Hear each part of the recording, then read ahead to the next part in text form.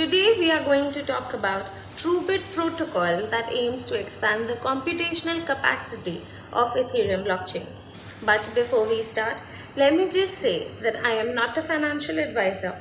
I have read no books on financial advice, but I have done my masters in economics and using my knowledge and enthusiasm for crypto, I just want to share my understanding with you.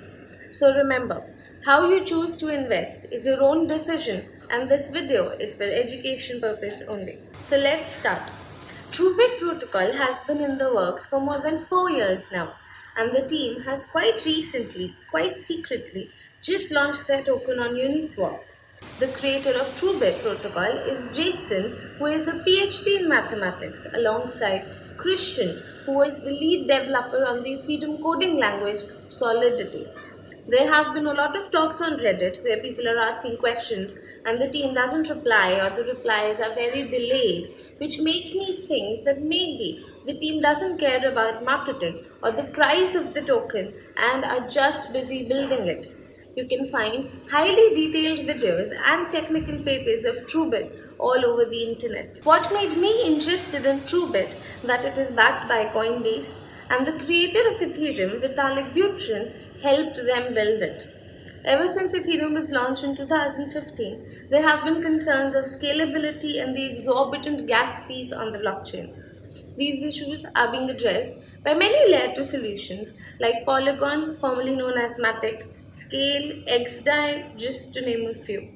But what is different about TrueBit than these other scaling solutions is that TrueBit doesn't just aim to increase the number of transactions per block.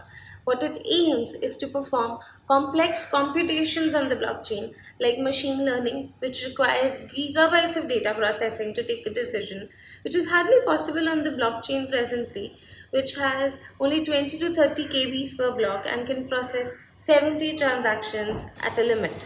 TrueBit protocol can also be used to work as an oracle like Chainlink, where you can store and run programs like face recognition, process huge chunks of data like the ones used in traditional finance sectors, hospital data sets, online gaming like Fortnite and many more.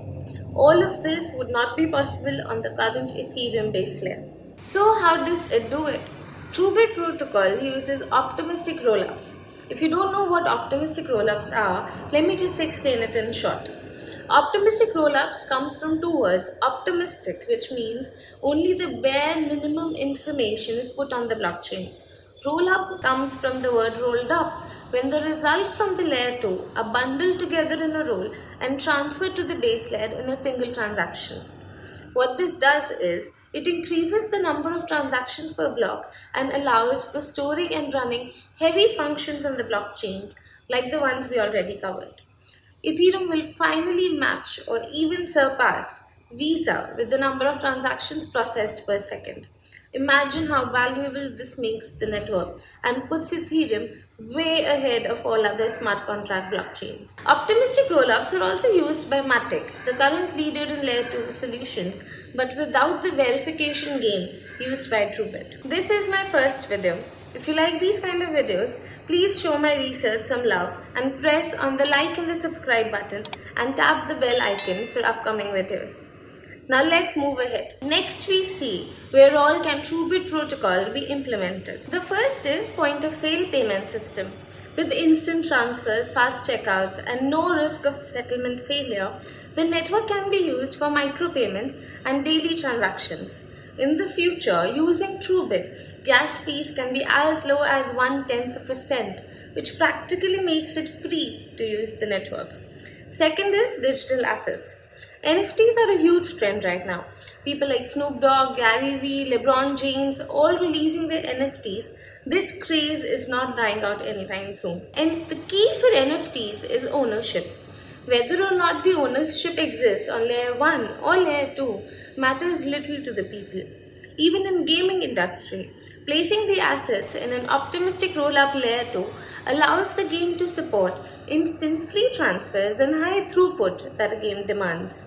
Developers can even avoid paying minting fees unless the user chooses to withdraw to the layer 1. The third is decentralized finance or DeFi as we know it. Micropayments rely on high throughput and low cost to be viable. Using optimistic rollups, it would allow DeFi protocols or decentralized browsers like Brave to distribute BAT tokens with no gas cost to their users. The fourth is the bridge between Dogecoin and Ethereum.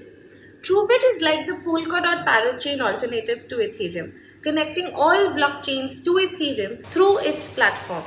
Truebit makes interoperability or cross-chain between two different blockchains a possibility. This way, you won't have to rely on centralized exchanges to shift your tokens from one blockchain to another. Fifth is to work with IoT devices. Smart devices like your smart fridge or even sensors can directly record on Ethereum through TrueBit as soon as the action takes place. For instance, imagine if a cargo truck passes by a certain road.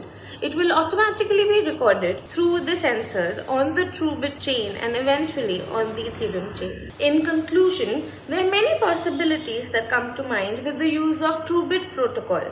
The project shows promise and I for one have high hopes with it. This might as well be the best project of 2021. It's an ecosystem, not a dApp. My last parting thought would be a sage advice that you should conduct your own research and I have left some relevant links in the description box below. Please go through them. Do let me know your thoughts in the comments below. This is all from me today. I will see you in my next video.